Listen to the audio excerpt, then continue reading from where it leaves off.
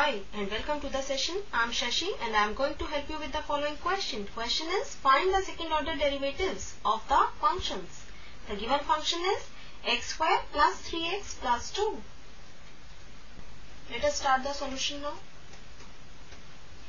First of all, let us assume y is equal to the given function that is x square plus 3x plus 2.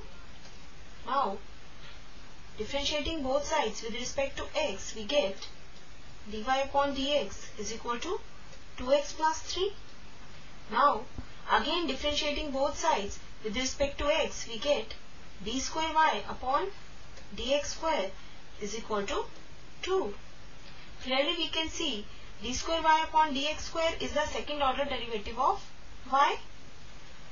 So, the required second order derivative is equal to 2. This is our required answer. This completes the session. Hope you understood the session. Take care and goodbye.